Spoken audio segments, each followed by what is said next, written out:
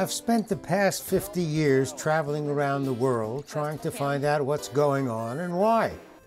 What's going on is usually fairly easy to spot. It's happening more or less in front of you. Why something is going on is often complex and more difficult to discover. In 2011, I moved to Switzerland. And the longer I lived in Switzerland, the more interested I became in the country's government. It seems to function better than any government I knew. Virtually every Swiss government employee I dealt with made an enormous effort to help me do what needed to be done. There was a clear sense that they were there to help me. It was particularly frustrating for me to compare the Swiss government with the US government. Now, I am a citizen of the United States and extremely proud of our country, but I think our federal, state, and local governments could use a little mm, reworking. In fact, I think they could use a lot of reworking.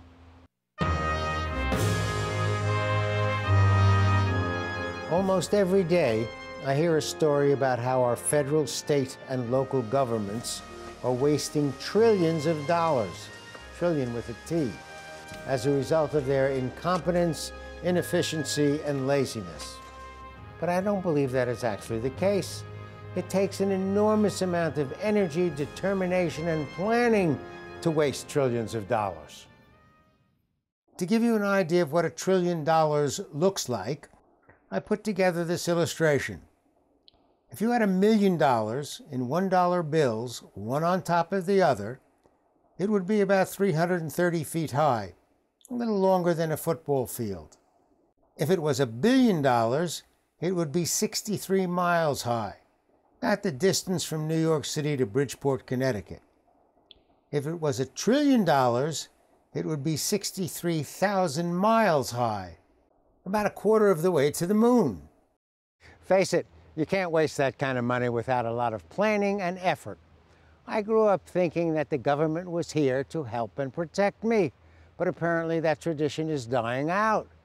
So I started traveling around the country, talking to people, trying to find out why that tradition is disappearing. I was a hardworking professional.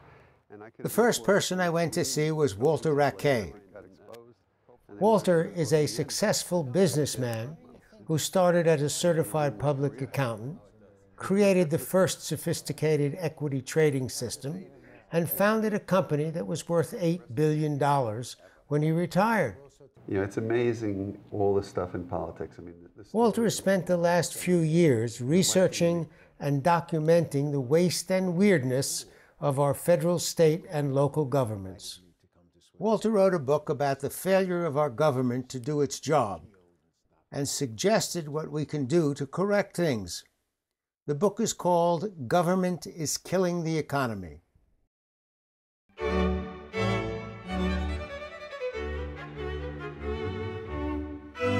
Government policies should, should encourage entrepreneurs to thrive.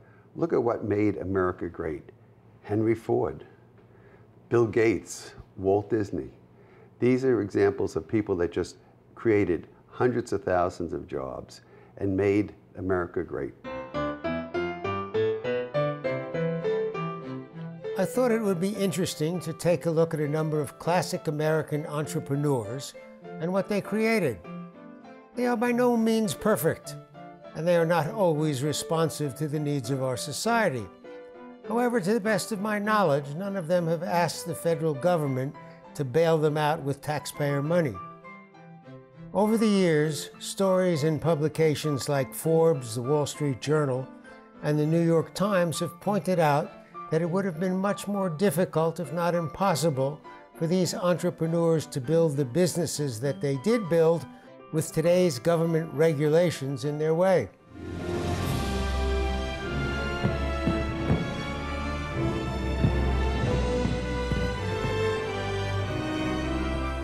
Walt Disney was born in 1901.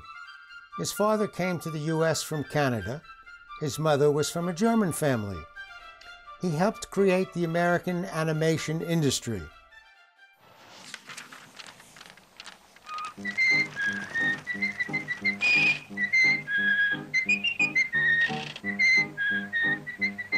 He introduced synchronized sound, Technicolor, Snow White and the Seven Dwarfs, and Pinocchio set the tone for the industry. When he decided to go into amusement parks, he funded the project by going into the television business. These days, Disney is no Mickey Mouse operation. It grosses over $50 billion a year and has almost 200,000 employees. There's a good chance that under today's rules, Snow White would have gotten an X rating and you could have never used the full title. Today, one year after Lisa, we are introducing the third industry milestone product, Macintosh. Steve Jobs was the co founder of Apple, an entrepreneur and inventor of information technology. He influenced the development of six industries personal computers, animated movies via Pixar, music, telephones, tablet computing, and digital publishing. Apple has created or supported over 1 million jobs. Today, Apple is going to reinvent the phone. And here it is. if it wasn't for Steve Jobs, we'd still be doing this. Look up the number in your new directory. Second, raise your telephone and listen for the dial tone.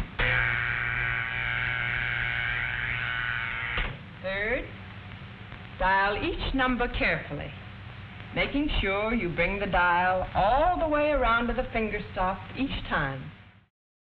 Gates was born in 1955. At the age of 20, he co founded Microsoft, which became the world's largest PC software company. While criticized for some of his anti competitive business tactics, he's best known for the personal computer revolution. I'm confident that anybody who, who uses this product will love it. Forbes first listed Gates in 1987 as one of the world's wealthiest people. Today, his net worth is estimated at $90 billion, and he may be the wealthiest person in the world. The government should provide goods and services on a cost-effective basis. You know, they should spend our money carefully like we would spend our own money. The regula- cost of regulation is insane, along with the waste and fraud. They should be encouraging entrepreneurs to create jobs and make the economy grow. A good place to start looking at government waste is the Business Insider. It's a website that analyzes business news and pulls together top stories from the web. It has about 70 million unique visitors each month. The feature I like best is their regular listing of the 12 most ridiculous government regulations. I found this one in Massachusetts. A U.S. District Court judge fined Robert J. Eldridge, a Massachusetts fisherman, $500 for untangling a giant whale from his nets and setting it free. Apparently, it's a crime for a professional fisherman to free a whale trapped in his or her nets. Eldridge was supposed to call the state authorities and wait for them to do it. You have reached the Massachusetts hotline for trapped whales. All of our experts are presently busy assisting other whales. Your estimated waiting time to talk to a representative is 1 hour, 23 minutes, and 9 seconds. Example number two Texas. The state of Texas requires every new computer repair technician to obtain a private investigator's license. All right, let's get your dirty work over.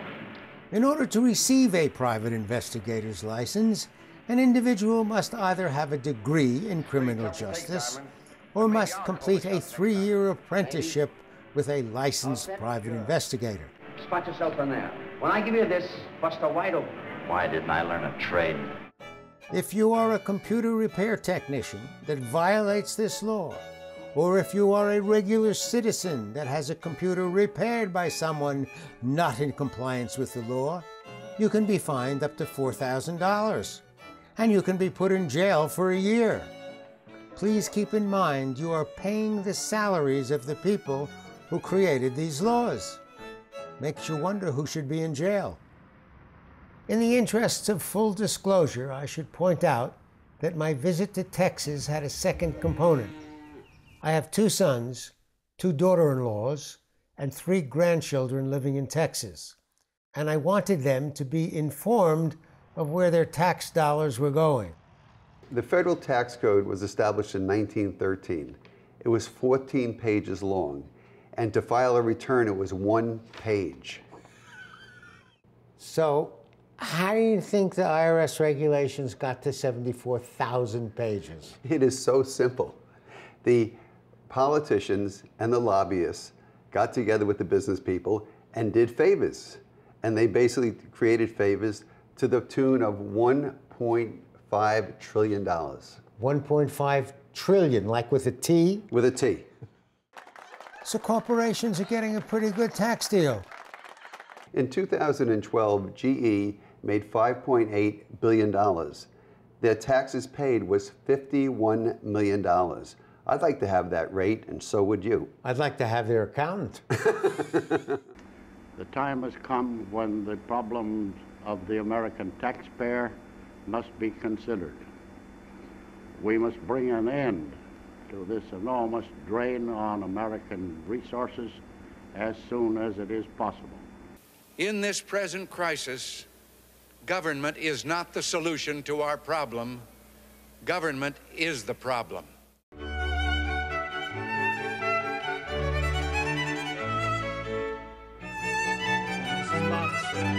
This stuff is hard to believe, and the government knows about it. They, they did an audit of the government issued credit cards to these employees, and they found out that 15% of the expenditures went for personal items such as Ozzy Osbourne tickets, negligees, tattoos, bartender school tuition, etc. Can you imagine our tax dollars being wasted like that? I love the idea of somebody showing up at my farm from the Department of Agriculture in a, in a negligee. Keep dreaming.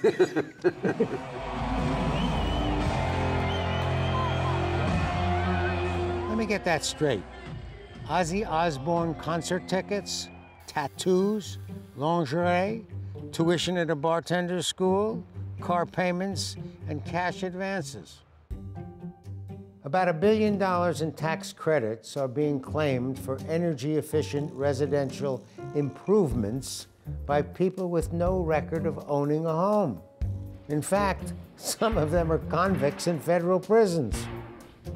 About 7,000 people who claim to be Medicaid providers in just three states owed $791 million in unpaid federal taxes, which our government failed to collect and yet at the same time, our government managed to pay them 6.6 billion in Medicaid reimbursements. And that was just in one year. When you Google government wasteful spending, you get over 8 million results. So tell me about this insider trading stuff. Well, it's, it's amazing. Basically, you and I cannot trade on insider information. And that what insider information is means is if we're buying and selling securities based on information that the public, general public does not have. However, 60 Minutes exposed the fact that our Congress people and our senators can trade on inside information. They were so embarrassed that they immediately passed the Stock Act, which prevented them from trading on inside information. However, several months later, they just did away with the Stock Act, and now today they can trade on inside information.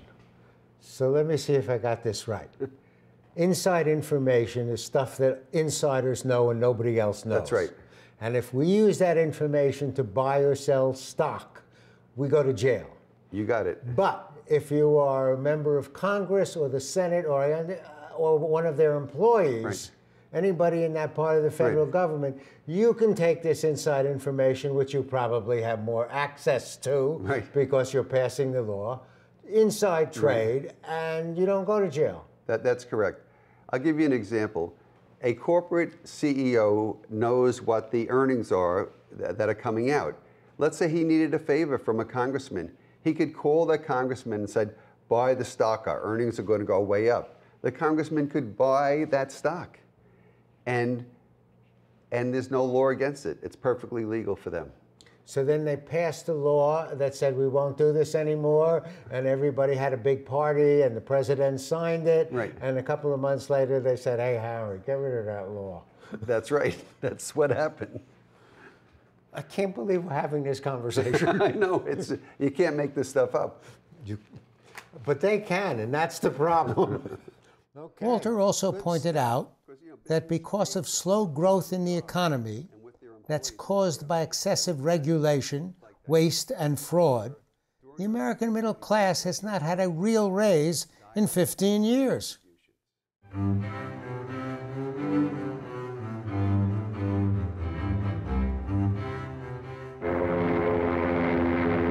It's time to blow the whistle, and the people I spoke to had some interesting suggestions. Two of them were at major law firms, and a few worked for our government. They spoke on condition that their names would not be mentioned in this report because they are not authorized to rat out their associates. They all believe that our governments are out of control and wasting our money.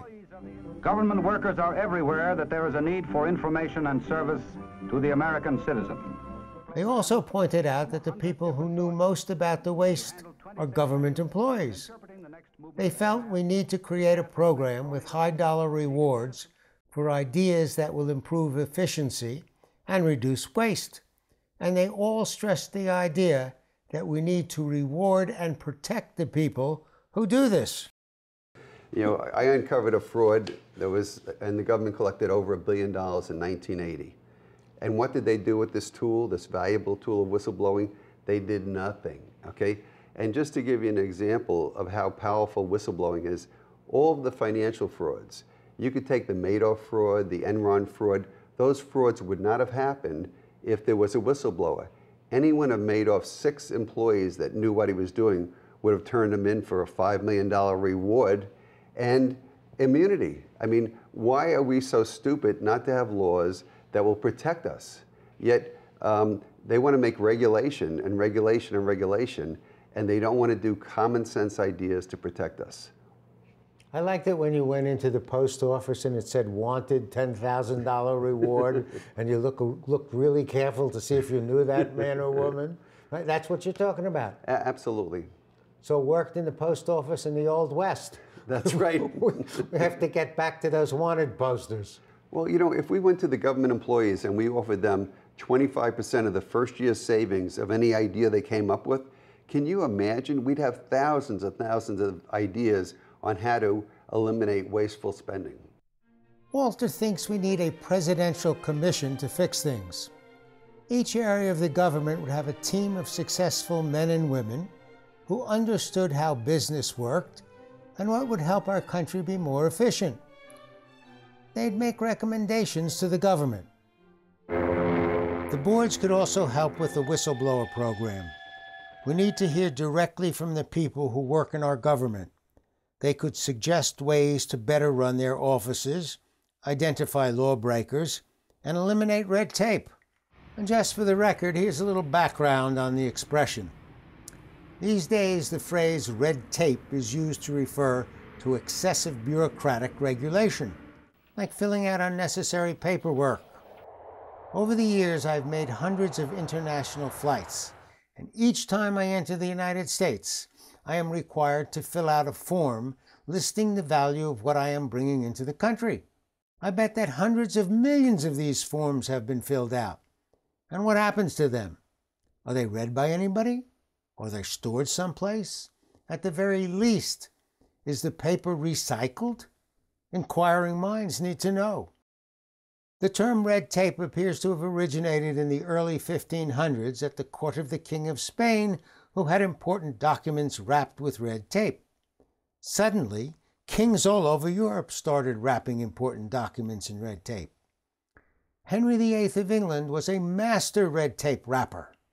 He sent over 80 red tape documents to Pope Clement VII, requesting the annulment of his marriage to Catherine of Aragon. I found Walter's comments rather shocking. I wanted a second opinion. So I paid a visit to Philip Howard. Philip heads an organization called Common Good, which is a nonpartisan group dedicated to the radical idea that responsible individuals should run our country, not mindless bureaucracy. Government officials and citizens should be motivated by common sense. What a radical idea! American government's basically run by dead people. It's people who wrote these rules and regulations 40 and 50 years ago that are long gone, and they stay in place whether or not they, they work. And the worst kind of evil of them is that they don't give people today the flexibility to make sense of the situation in front of them. People literally cannot use their common sense. It's illegal. So people go through the day with their noses in these thick rule books. Um, for example, in nursing homes, typically have about a thousand rules. So, you know, food shall be stored not less than 19 centimeters above the floor, and that that so divert nurses' aides and the people who run nursing homes that they don't have time actually to do what the resident would like and needs. Decrepit water mains, sometimes over a century old, waste trillions of gallons of water every year. Waste water facility plants are out of date, don't have capacity, so whenever there's a big rainfall, there's overflow in, in, into the rivers. 40% uh, of bridges are structurally deficient.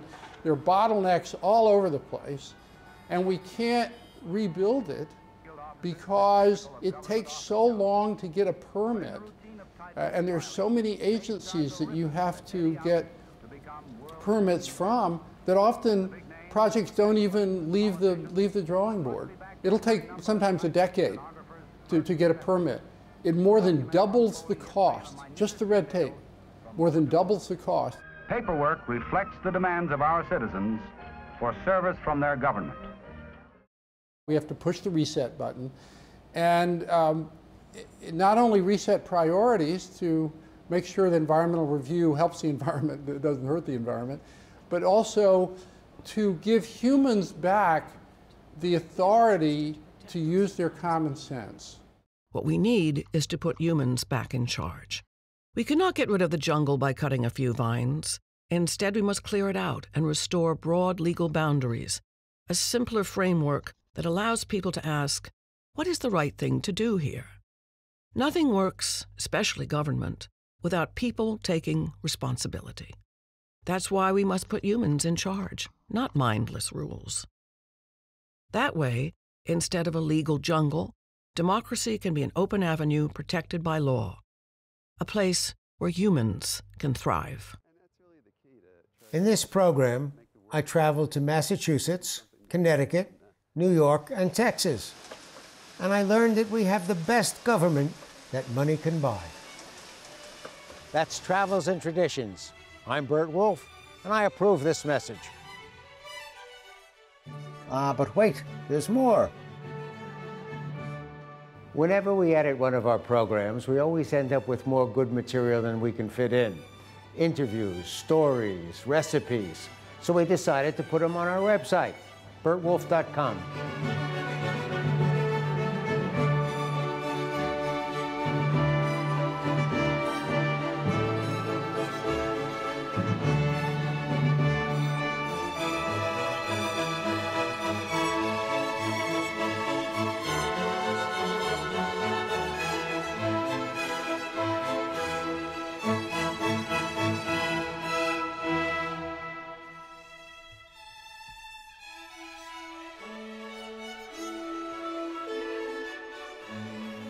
This present crisis, government is not the solution to our problem.